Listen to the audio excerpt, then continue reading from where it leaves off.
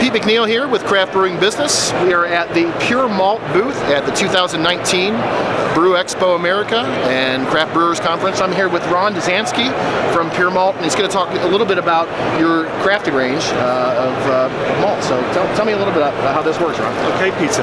Um, at Pure Malt, we are specialists in manufacturing malt concentrates in liquid form. So we will take uh, a whole series of specialty malts which we produce and uh, we'll brew with those and we'll refine those.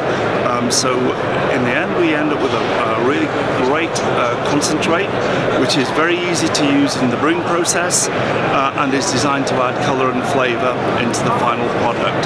So uh, Peter, I'd just like to give you a quick demonstration of some of these products.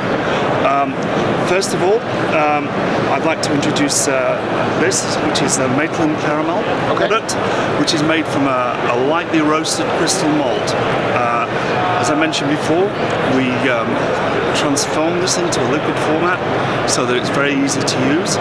And a simple, simple um, addition into beer will actually bring to beer all the characteristics uh, that you would expect from a, a lightly roasted caramel.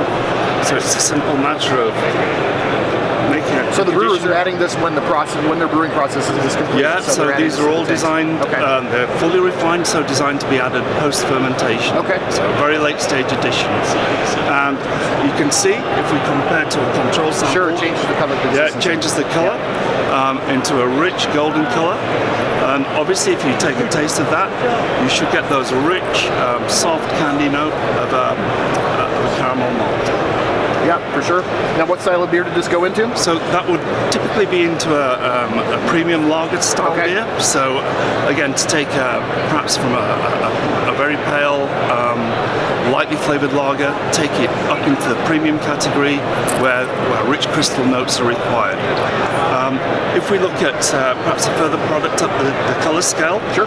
Um, we have a dark roast crystal okay. Um, concentrate here, and this would typically be added to bring uh, rich amber and red tones to a beer, uh, and also uh, distinct, rich, dark caramel type notes typical of a strong ale, um, IPAs, and also red beers. Okay. So this would be the application for this. So again, I'll just take standard beer and add some of this particular product. And you can see instantly sure. transformed into a, a rich red uh, ruby type. And so color. depending on the flavor characteristics that the brewer is trying to achieve, they can yeah. add as little or as much uh, as little as, as much as uh, these are really um, elements of a toolbox, um, and it actually uh, allows the brewery, uh, the brewer to um, express a lot of um, his individuality and creativity. Um, we don't recommend a specific addition rate. That's entirely up to the, okay. to the brewer. It's a completely different beer. It's interesting. Uh, absolutely, yeah. Um, so again, we focus on colour and flavour.